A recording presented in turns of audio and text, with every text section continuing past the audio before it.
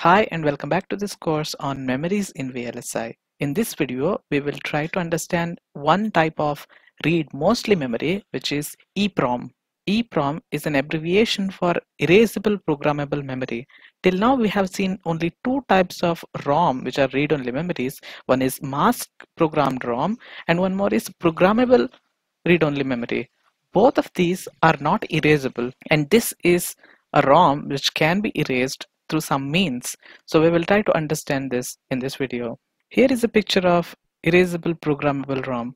You see there is a window over here and this is basically used for uh, erasing purpose which we will see in detail. But due to this it is also called as windowed ROM because there is a window through which erasing operation is done.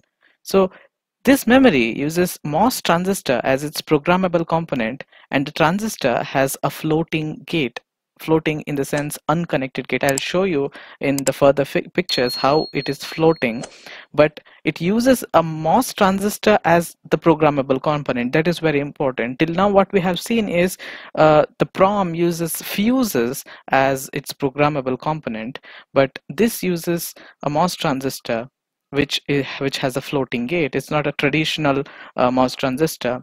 EPROMs can hold bits for at least 10 years. So it has better storage permanence compared to other types, but it has a little bad storage permanence compared to ROM and uh, PROM, which almost never loses bits, right? And writability is comparably much better than that of the PROM or uh, mask programmed ROM because these can be erased and programmed multiple times to the level of thousands of times, not really more than that.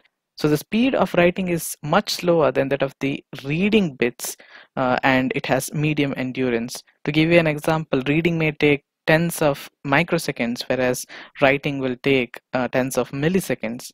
And endurance is nothing but uh, the number of times the memory can be programmed and erased. So it has medium endurance which is um, few thousand times uh, it can be written and erased. So it uses second layer of polysilicon or poly between the control gate and the channel. As you can see in this figure over here, the channel is over here and this is the control gate over here. And there are two oxides one one is here and one more is here. So this gate as you can see this polysilicon is nothing but floating because both the sides it is connected to uh, dielectric right? So it is not at all connected to any metal so that it can conduct. So we have two poly layers over here. So how do we uh, write uh, to this memory.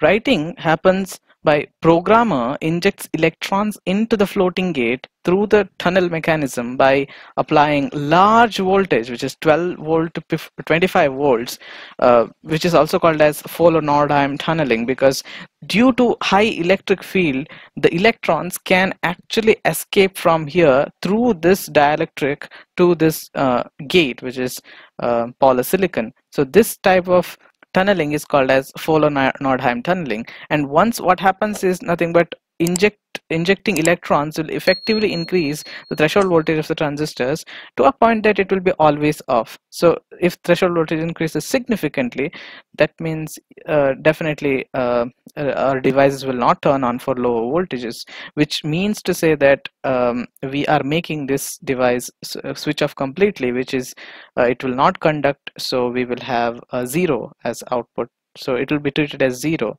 and those channels which will conduct which are treated as ones right? That's how it is programmed basically. And erasing will happen by keeping this device under the UV eraser for at least 5 to 30 minutes after which it can be reprogrammed again. So this is a very slow process which will take 5 to 30 minutes which is too much for modern systems also, it has some other issues such as it cannot be used in environments which uh, elect which has electrical noise and uh, radiation because it will get affected due to that. The electrons may, um, you know, lose their energy or uh, get into higher energy states and it may create a lot of problems and because of this it is uh, not used in many products nowadays i hope you got some idea about erasable programmable ROM. In the next video, we will try to understand electrically erasable programmable ROM. Thanks a lot for watching. I'll see you in the next video and bye-bye.